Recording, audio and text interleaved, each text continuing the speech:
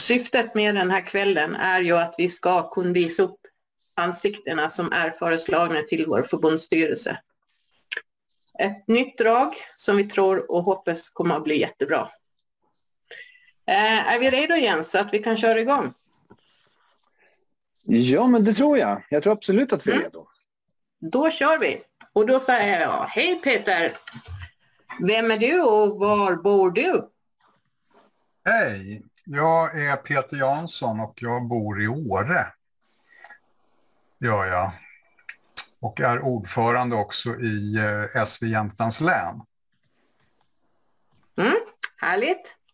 Eh, din härligaste SV-upplevelse hittills? Eh, oj. Jo, men det, det var nog faktiskt för eh, eh, förra sommaren när vi eh, skrev på den här demokratideklarationen, demokratin 100 år. Och eh, det var ju en viktig grej att skriva på. Så det, det, men det var inte det som var så härligt, utan det var att vi var på Vången en sån här fantastisk dag. och Det var en fantastisk utsikt där uppe. I, i, det är en sån här riksanläggning för travsporten. Så det, det då, och hela personalen och hela styrelsen tillsammans gjorde det här. Mm. Det var en bra SV-upplevelse. Härligt, härligt. Eh, då kör man på med eh, hur märker vi att du eh, arbetar i Studieförbundets Vuxenskolans förbundsstyrelse? Nu, nu får du tänka dig liksom lite fram i tiden här. Eh, ja, hur märker vi det? Jag, eh, alltså jag brinner ju för demokrati. Jag de, brinner för strategisk utveckling, innovation och hållbarhet. Men demokratin är nog det jag håller främst. Så det skulle jag nog vilja att vi... Eh, menar, det är ett av våra uppdrag, så det, det är ju en given sak att jobba med. Men eh, med tanke på hur, hur samhället ser ut idag och vart vi är på väg så är det en jätteviktig uppgift för folkbildningen. Så den vill jag jobba mer med. Mm. Kanoners, kanoners. Um, vi ska se här också. Vad betyder SV för dig? Eh, ja, alltså SV betyder ju en del i folkbildningen och jag, jag är ju passionerad folkbildare. Jag, jag har ju jobbat både i verksamheten och eh, suttit ett tag i styrelsen här nu också. Jag har varit i den här organisationen sedan 2003. Jag vet att det är många som har varit jättemycket längre än mig, men det är nog det längsta jag har varit trogen någon organisation i hela mitt liv.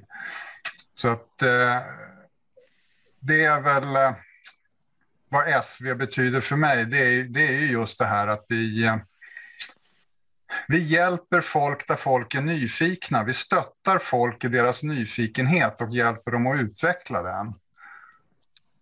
Just nyfikenheten tror jag är grunden eller roten till, till uh, folkbildningen. Mm. Kanoners. Då tackar vi dig Peter. Perfekt. Var, var du redan klar?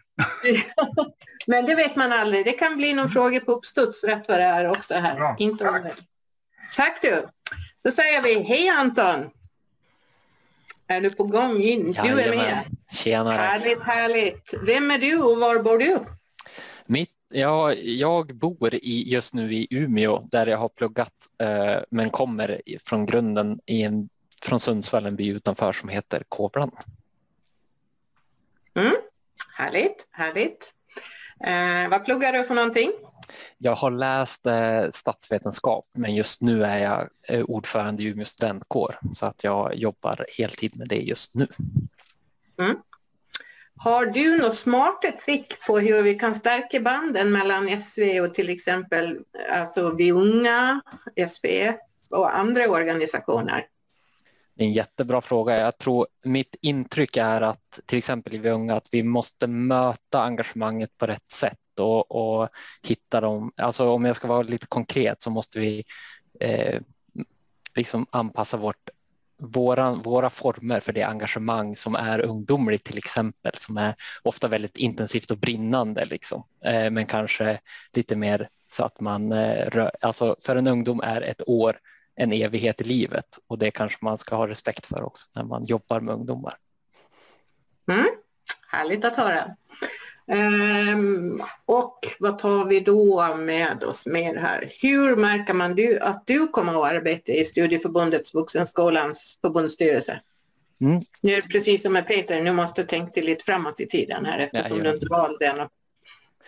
Eh, men det är en jättebra fråga och jag tänker att jag eh, är väldigt taggad på den diskussionen vi kommer ha kring kvalitet och verksamhet och liksom vad faktiskt folkbildningen är för typ eh, och hur vi, hur vi jobbar med, med kvalitetsfrågorna. Det hoppas jag kan vara en del i den diskussionen, en drivande del, men också är, så är jag ganska van att jobba med perspektiv och vilka perspektiv man behöver ha med i rummet eh, för att liksom jobba eh, i ett förslag, tänka på hur, hur slår det här till exempel mot, eller slår, hur möjliggör det här på något sätt verksamhet för eh, avdelningarna eller för våra samverkande organisationer och liknande. Så att försöka ha ett, ett en perspektivfokus så att allting finns med. Mm. Härligt, härligt. Då tackar vi dig Anton så länge, så får vi man se. Det kanske blir någon mer fråga, det vet man aldrig. Eh, och då säger vi hej Bartos! Hallå! Hallå, hallå! Hur har vi läget? Jo då, det rullar på. Det rullar på, härligt, härligt. Vem är du och var bor du? Ja, jag är då 19 år, eh, bor uppe i Bjuråker utanför Delsbo, utanför Hudiksvall, Gävleborgs län. Så att inte alldeles för långt från Jens. Um, grannkommunen liksom. Um, ursprungligen kommer jag då från Polen och uh, pluggar nu sista, uh, in i sista kaklet på samhällsprogrammet på gymnasiet. Och sen är jag förbundsordförande på förbundet Vi Unga. Härligt, härligt. Vad betyder SV för dig? Ja, det betyder ju väldigt mycket. Eh, jag skulle väl säga att eh, överlag så är det ju Sveriges bästa studieförbund. Det är ju det i alla fall jag vill att SV ska vara.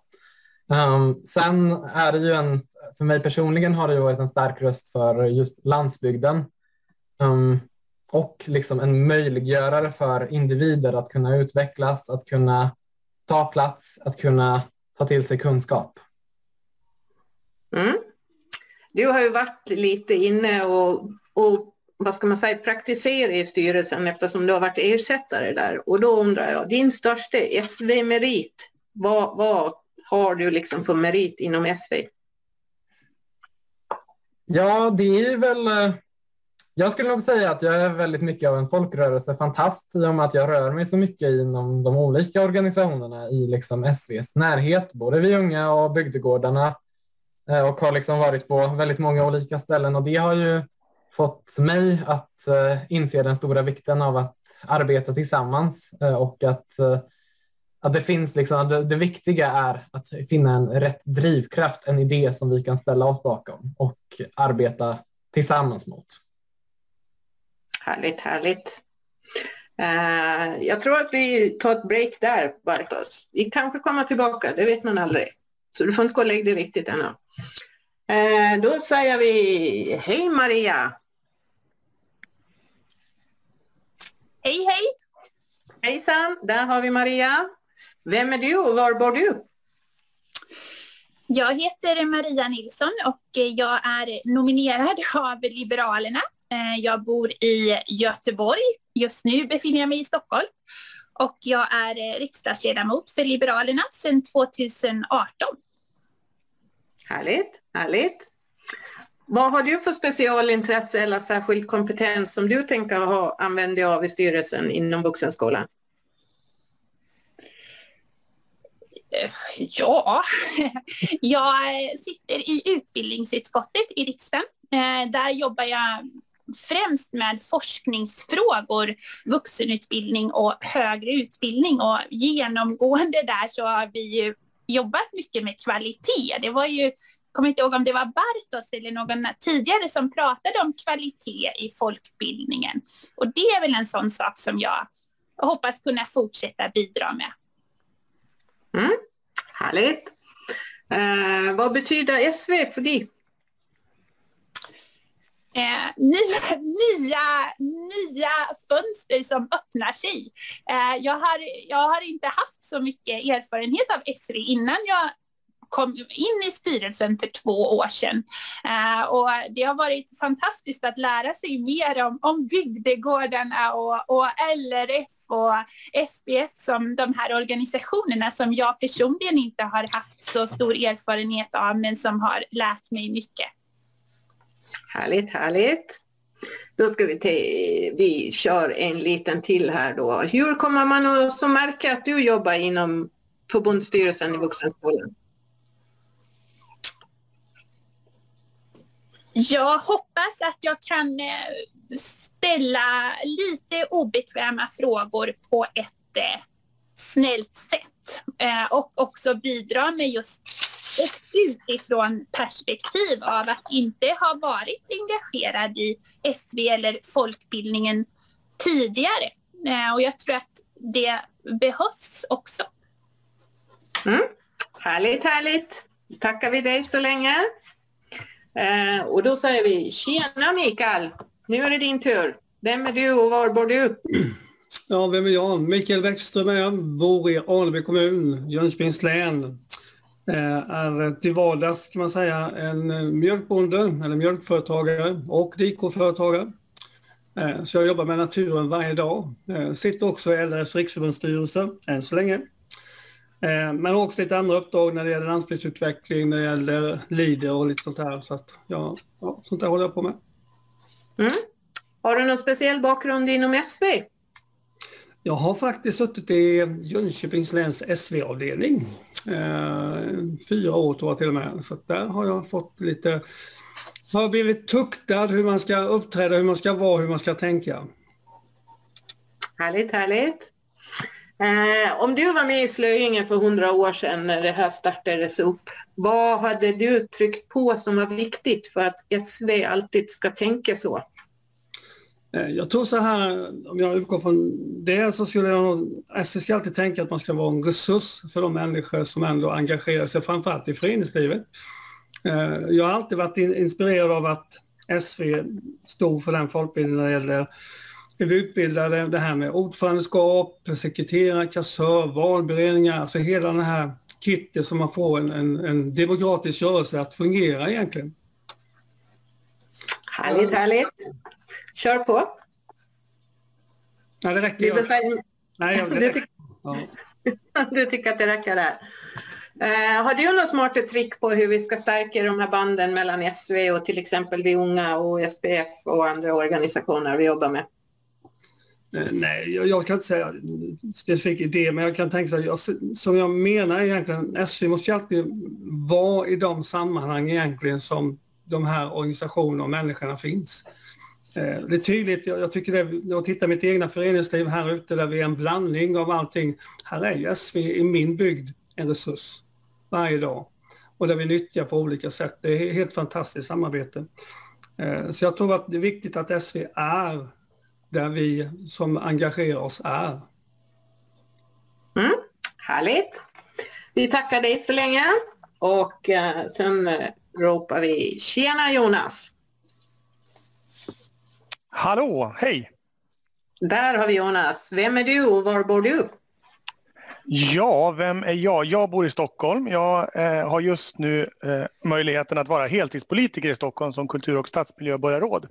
Eh, har varit engagerad i politiken i snart 20 år och eh, tog mig in i SVs styrelse eh, 2009 faktiskt första gången efter tre kandidaturer. Så tredje gången gilt kom jag in i styrelsen. Eh, sen slutade jag 2017 tror jag och sen eh, blev, fick jag förtroendet återigen 2019. Så eh, nu är jag väl inne på mitt tionde år ungefär. Hur kändes det att bli recyclad om man nu säger i styrelsen efter ett antal år? Har det hänt något speciellt i styrelsen? Ja, men som centerpartist så tycker man att återvinning är någonting positivt och jag tycker också mm. det är roligt att kunna gå in och ur. Nu har jag ju kommit in i styrelsen igen på ett partimandat från Centerpartiet. Så det blir ju lite annorlunda roll. Men jag tycker att den utvecklingsresa som skedde mellan 2009 till 2017, den har väl egentligen bara fortsatt. Eh, där vi har gått från att ha 177 avdelningar till att ha ett 30-tal avdelningar som är betydligt starkare och bättre att driva verksamhet. Så jag ser ju det här som en, en utvecklingsresa som jag gärna kommer tillbaka till eftersom eh, jag vet hur viktig folkbildningen är i många delar av landet men också i Stockholms stad där jag är politiker så spelar ju eh, studieförbunden och folkbildningen otroligt viktig delar i många eh, delar utav staden som inte har så lätt och sådana goda förutsättningar. Det, där eh, har folkbildningen en väldigt viktig roll att spela. Mm, härligt. Eh, vad känner du att eh, du har som din största SV-merit? Du har ju ändå varit med ett tag i styrelsen och dessutom två gånger om då. Ja, men, ja, dels att jag kom in i styrelsen efter mycket kämpande. Då var jag någon sorts ungdomskandidat, det kan jag inte stoltsera med längre. Eh, men däremot att vi vågade göra den här stora organisationsförändringen och det steget och den utmaningen som...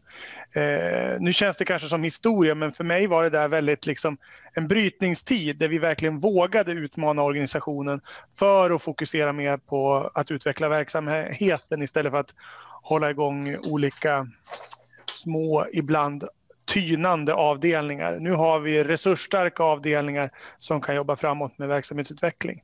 Det är jag stolt över att ha varit med och förändrat. Härligt, härligt. Eh, jag tror vi stoppar där faktiskt just nu. Och sen, eh, man vet aldrig, vi kanske kommer tillbaka. Eh, tack så länge och sen säger vi tjena, tjena Jesper. Tjena, tjena. Nu ska du få prata en liten stund, inte så länge. Eh, vem är du och vad bor du? Ja, jag är eh, kulturpolitiker i Blekinge. Eh, bor i Ronneby, eller närmare bestämt i Kuggeboda längst ut på en halvö i den vackra blekingska trädgården.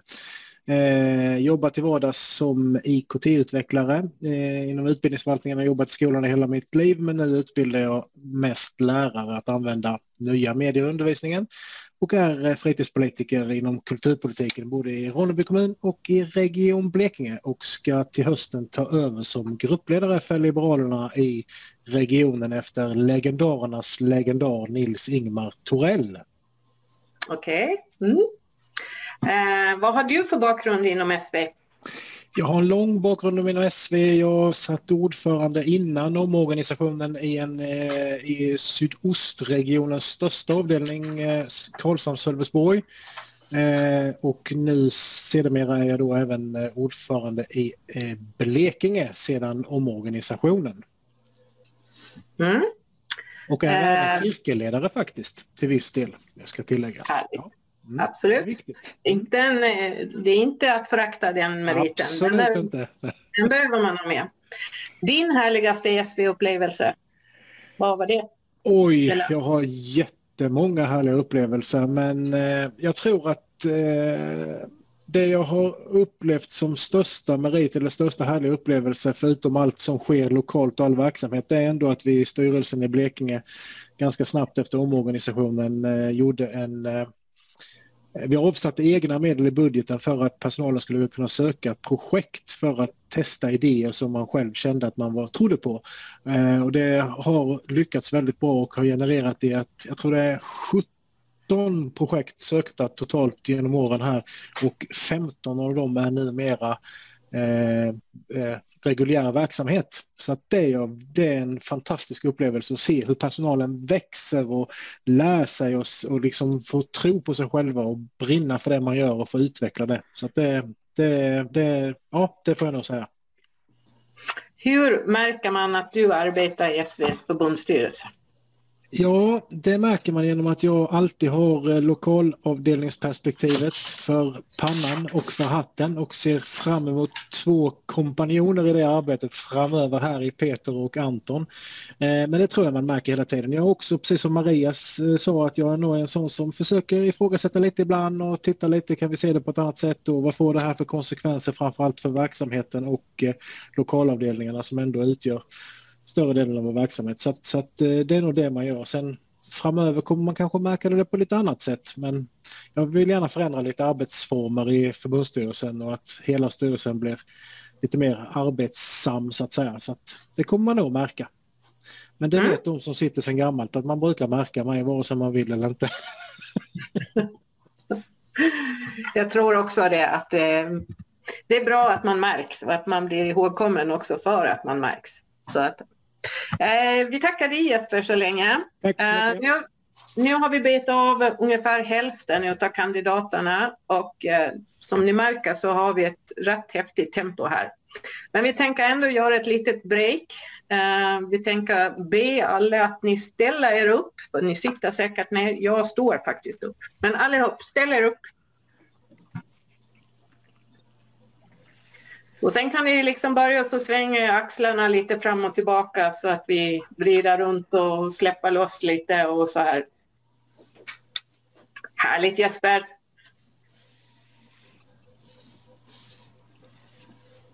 Och Kjell är bra på barnen där och Jens är bra på barnen. Ja. Det är gott. Så.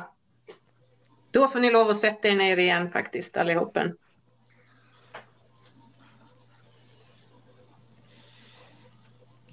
Då ska vi se. Då går vi raskt vidare faktiskt på nästa person och det är, eh, jag säger, hej till Kjell. Hej. Hej, hej Kjell. Vem är du och var bor du? Jag är en eh, medelålders man som har varit pensionär i många herrans år, bor i Alingsås eh, med fru, utflugna barn, barnbarn och barnbarnsbarn, lite spridda i västra Sverige. Sitter i eh, förbundsstyrelsen för SPF Seniorerna, eh, förutom SV. Och för att knyta ihop säcken helt så sitter jag också i förbundsstyrelsen för Vi Unga där jag höjer medelåldern. Marginellt tror jag att du höjer den. Ehm, vad är din största SV-merit? Det är, den har säkert inte kommit än. Eh, jag har ju kommit in ganska ny 2017 i SV och eh, försöker att lyfta eh, helikopterperspektivet och titta framåt och försöka öka samarbetet eh, och förbättra samarbetet mellan i synnerhet SPF-seniorerna och eh, SV. Och det är väl kanske där jag har lyckats bäst kan man säga. Mm. Eh, vilken fråga tycker du är viktig för dig att arbeta med i förbundsstyrelsen inom SV? Ja, vi har ju den demogra demografiska eh, komplikationen i Sverige som man måste jobba med på ett eh, bra sätt. Men man måste också jobba med utveckling, framtid och eh, samverkansfrågorna med andra eh, organisationer, eh, medlemsorganisationer, samverkansorganisationer. Utveckling och också titta över hela organisationsformen, hur den eh, kan utvecklas i en positiv riktning. Det tror jag är en eh, bra förutsättning för att man ska kunna vara en framtida stark, ännu starkare eh, aktör på folkbildningsmarknaden. Mm. Du har säkert något smarta trick det här hur man ska stärka banden mellan SV och de här organisationerna vi jobbar med. Alltså Vi Unga, SPF. Eh, det finns säkert fler organisationer som man kan ta med och nämna här. Eh, naturligtvis med en eh, nära kontakt och lokal närvaro och transparens i kommunikationen. Det tror jag är väldigt viktigt. Försöka eh, tränga sig på, vara med eh, och eh, inte infiltrera men ja, verkligen jobba nära de bitarna. Jag har en annan bit också, det är det att jag är nog, jag är nog en av de få som kommer från industrin i grunden och eh, som också är helt fullständigt partipolitiskt obunden. Så att jag känner inga kopplingar eller bindningar till några frågor utan kan vara fri på det sättet. Mm. Um, Jag tror vi stoppar där faktiskt Kjell just nu. Så får vi se om vi kommer tillbaka sen lite senare. Då säger vi hallå Thomas. Hej Monica! Hej du, hej du. Vem är du och var bor du? Eh, ja, mitt namn är Thomas Olofsson och jag kommer från Luleå. Eh, och eh, här eh, håller jag, jobbar jag och har gjort egentligen hela mitt liv med politik. Jag är just nu ombudsman för Liberalerna men har haft en massa olika uppdrag för Liberalerna. Eh, sen är jag också ordförande för Kalix folkhögskola och en eh, stark föreningsmänniska och sitter bland annat även i Munskänkarnas styrelse här i Norrbotten, eller i Luleå. Eh, så att det är jag. Det är lite vin och det är lite mat och det är lite politik och det är eh, idrott. Det är, det är jag intresserad av folkbildning. Härligt, härligt. Eh, din bakgrund inom SV då? Vad har du för styrelseuppdrag eller andra uppdrag där? Eh, ja, alltså jag eh, började väl egentligen kring organisationsförändringar skedde. Då, bör, då satt jag i valberedningen för SV via Liberalerna eller Folkpartiet som det hette då. Och eh, det var ju ganska mycket jobb då, eh, då, då man slog ihop allting och så. Så att, eh, det var väl det som började få in mig i SV. Sen har jag min första studiecirkel tror jag var om EG då det bildades, då, det var ju, eller då vi skulle gå med i EG. Och det var väl i början på 90-talet och så blev det någon studiecirkel om Bosnien, eller kriget i gamla Jugoslavien och sånt där. Så att jag har ju alltid varit med i SV, eller men i familjen, men det är väl ja, där kring 2010 som jag började engagera mig mer på ett organiserat sätt. Mm. Eh, om du var med i Slöinge för hundra år sedan när alltihop startade, vad hade du tryckt på som var viktigt för SV alltid att ha med sig?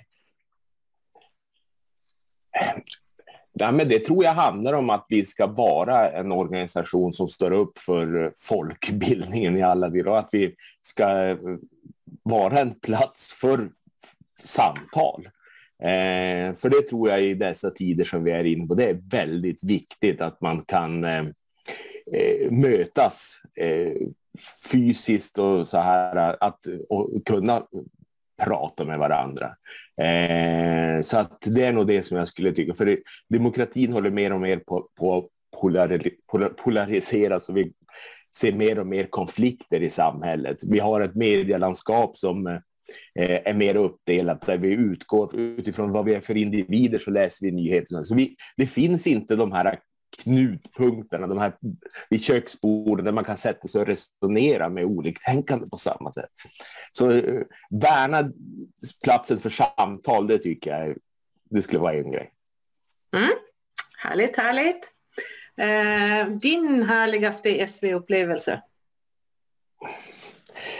Ja, alltså det är ju jättemånga. Som vice ordförande och som ledamot som har gjort jättemånga studiebesök. Så egentligen att se verksamheten, det tycker jag är fantastiskt kul. För det för med oss att vi kan berätta då vi träffar beslutsfattare och andra vad egentligen är SVR. För många vet inte vad ett studieförbund egentligen är, så vi måste ju också förklara vad det är. Så den här berättelsen vad SVR och alla studiebesök, det tycker jag är fantastiskt. Men sen så ledde den här stadgerevisionen som var, så det var ju fantastiskt kul. Den gick igenom vid eh, var det förra stämman. Mm. Mm. Då säger vi tack så länge där Thomas. Tack. Eh, och sen säger vi hej Angela. Hej Monica. Hej hej och alla andra. Vem är du och var bor du? Angela Ekmanett är företagare sedan ett antal år tillbaka. Eh, bor numera i Göteborg sedan ett, också ett år tillbaka men är uppvuxen i Småland på landsbygden. Bodde där halva mitt liv och sen halva mitt liv i Västerbotten. Mm. Du har varit runt lite på landet om man säger så. Eh, vilken vilken, vilken fråga är viktig för dig att arbeta med i Vuxenskolan i förbundsstyrelsen? Jag tycker det absolut allra viktigaste är att SV och folkbildningen fortsätter vara relevant och utmanande. Eh, du har ställt frågan några gånger kring vad hade man tänkt om man hade varit med för hundra år sedan. Jag tänker mer, vad är fria tankars hem idag och vad ska folkbildningen vara och erbjuda och vilka arbetssätt behöver vi ha för att fortsätta vara relevanta eh, med det vi ser runt omkring oss idag. Mm. Mm.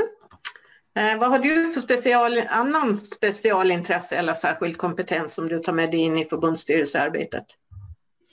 Jag, har ju, eh, min, min, jag är statsvetare i grunden och, och, har också tidigare varit engagerad i SV på eh, liberalt mandat då för många herrans år sedan. Men det jag tar in mig, med mig in i styrelsen idag är ju utanifrån, utanifrån perspektivet. Eh, där jag jobbar som eh, hållbarhetskonsult eh, och driver verksamhetsutveckling i både offentliga och privata verksamheter.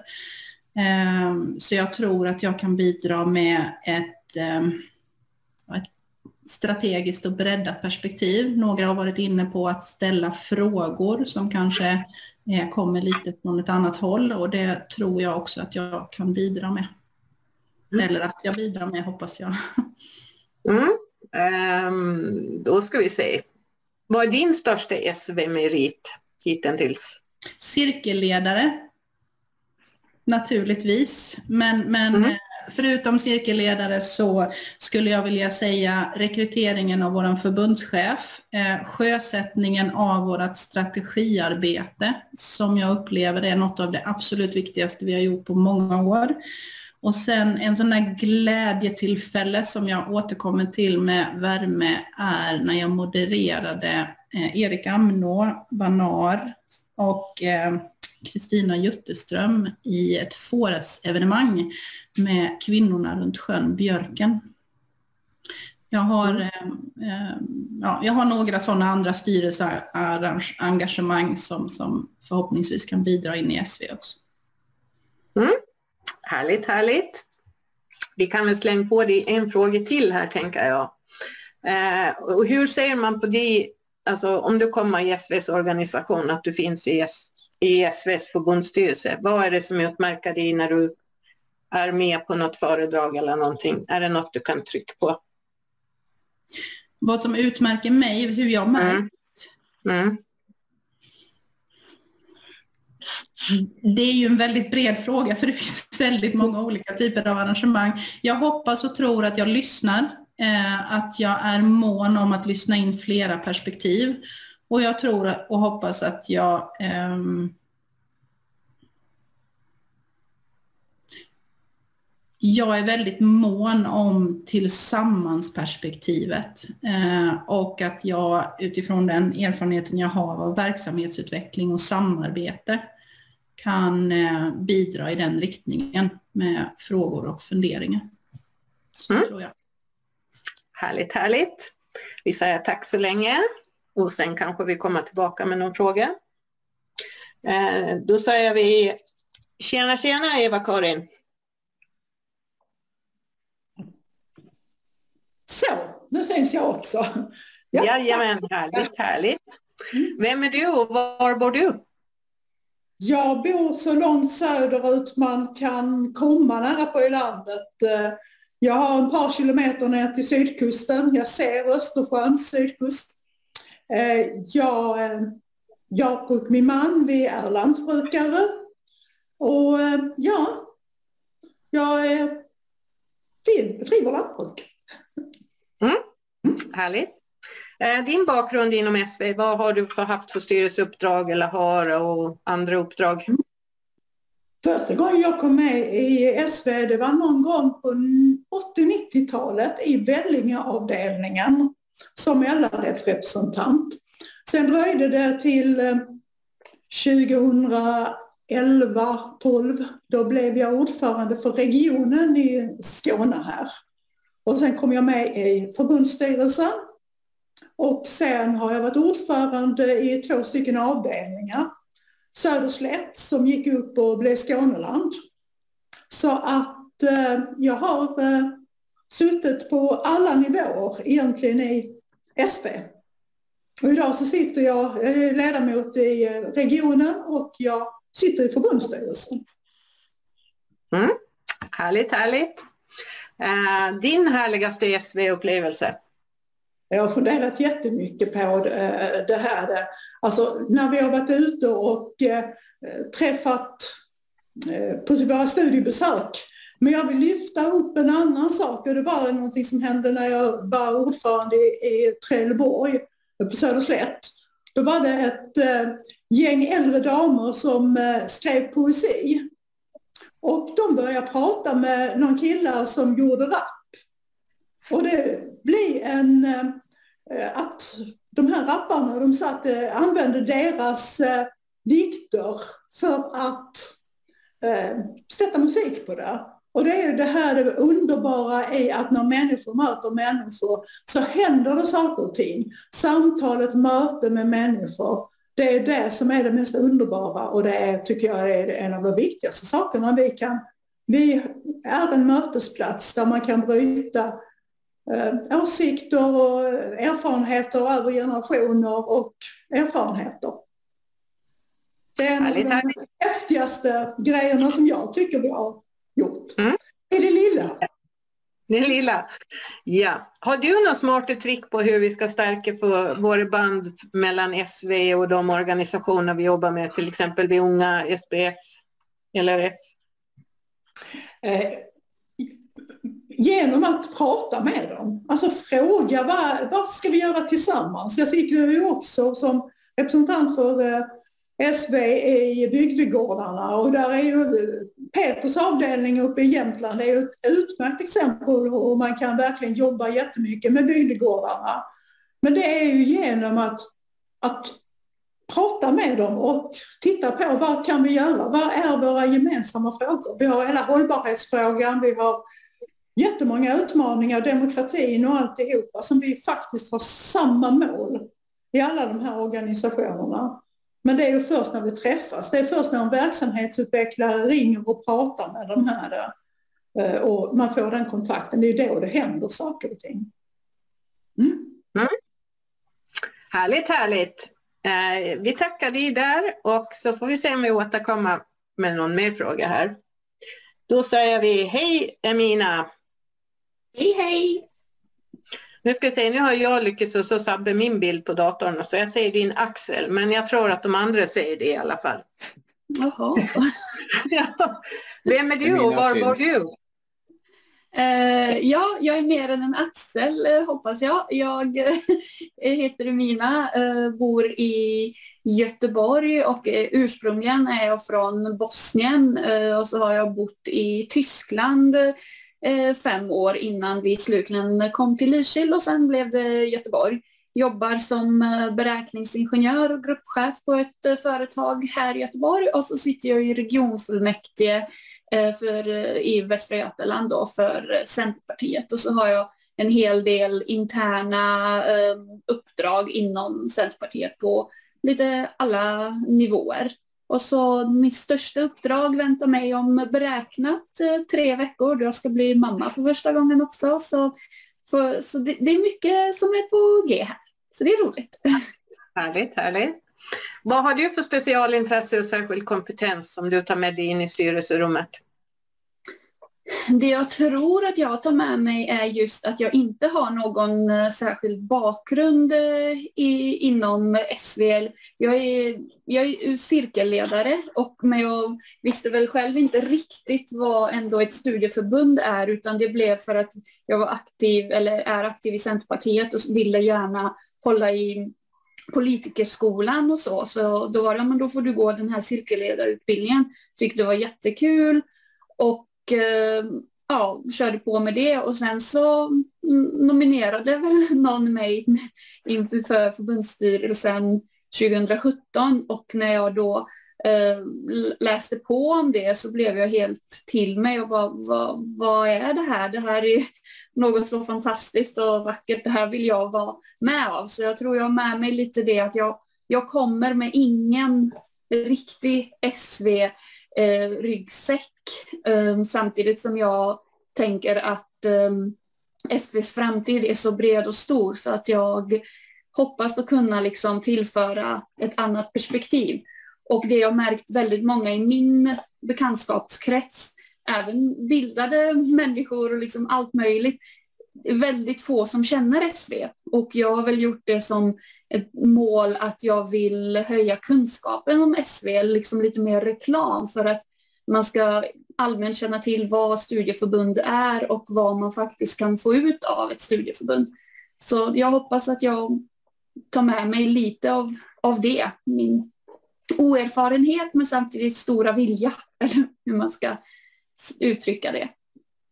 Mm. Din härligaste SV-upplevelse, vad är det? Ja, jag måste nog säga jag väljer mellan att, um, cirkelledardelen för jag tycker det är så kul men även avdelningsbesöken.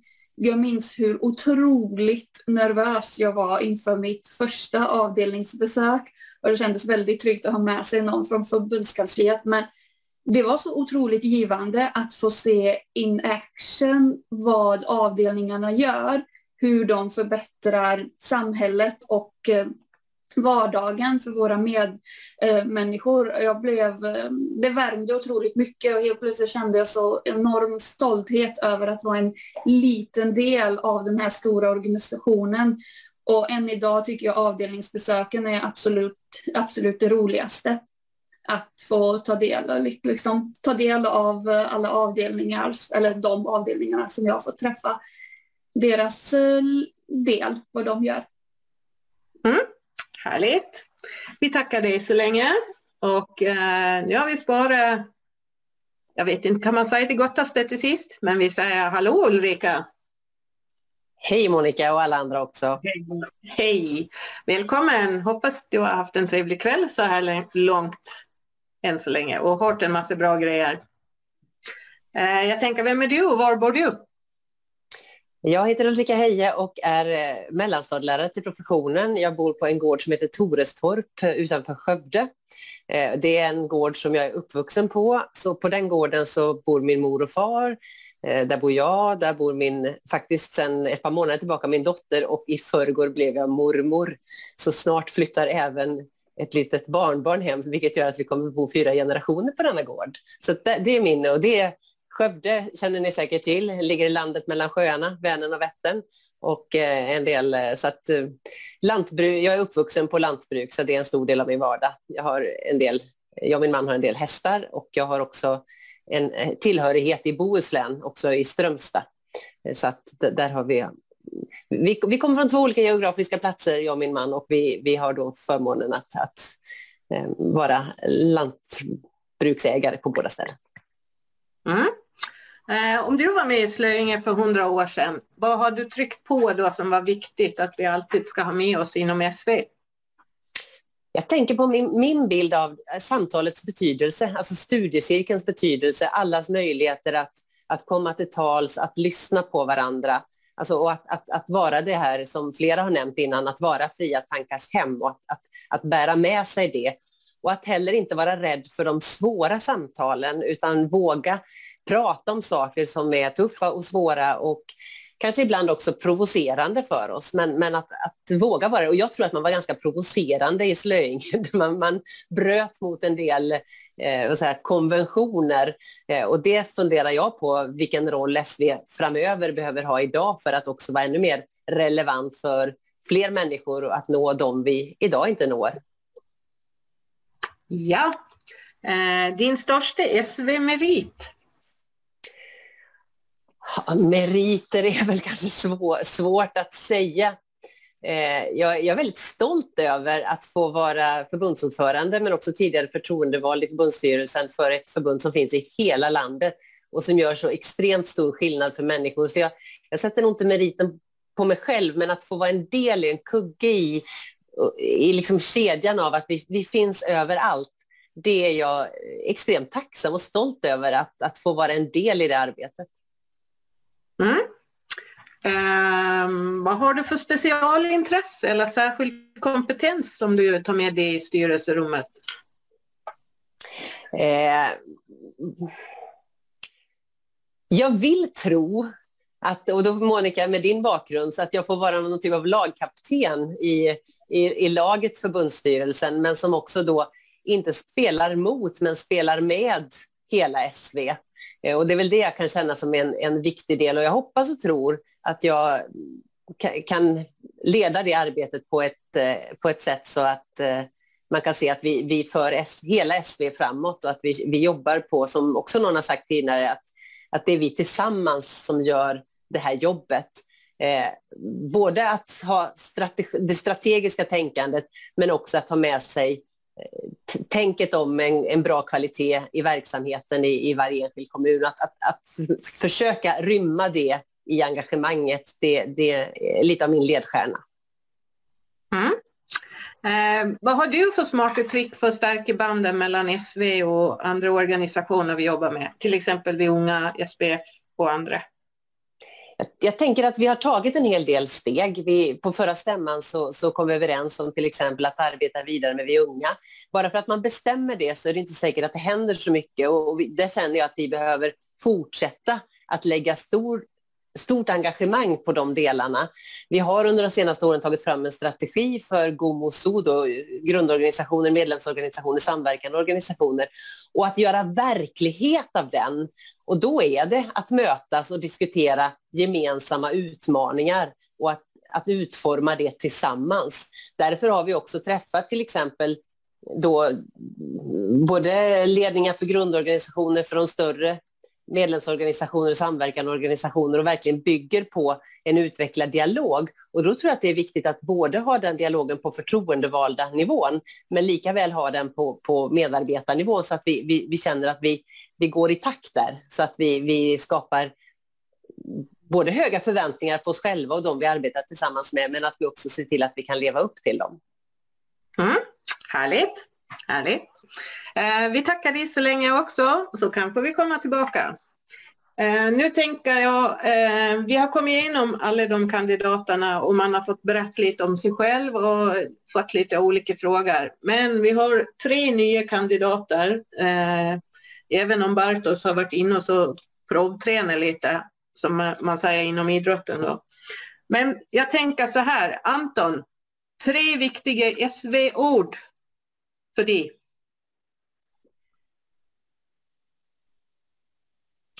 Nu ska vi se om vi kan få Anton att prata. Ursäkta. Så. Ja, det är lugnt. Tre viktiga SV-ord. Åh gud vilken bra fråga. Jag skulle vilja börja med eh, inkludering, eh, funktionsrätt och eh, organisering. Härligt, det tackar vi för. Då säger vi till Bartos också, tre viktiga SV-ord. Jag har faktiskt suttit och tänkt på det här lite under dagen och eh, skulle väl säga att förnyelse, demokrati och folkrörelse. Att det är både aktuellt för organisationen i sig men också väldigt viktigt just nu. Mm.